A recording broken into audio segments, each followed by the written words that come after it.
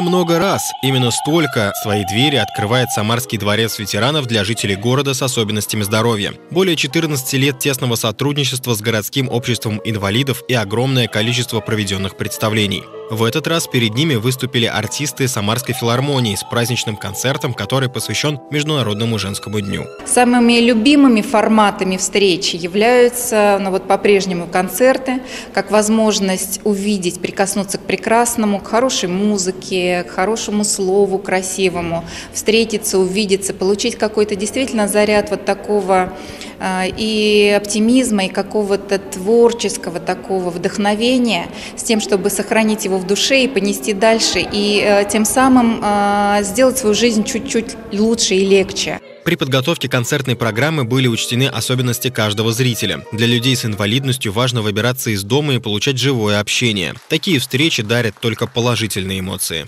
Во-первых, есть стимул собраться – одеться и выйти из дома. Вот такие мероприятия – это обязательно встречи. Это обязательно поделятся люди своим настроением, обязательно расскажут о своей жизни. А когда есть поделиться чем, и жить интереснее, и узнать какую-то новость тоже интересно.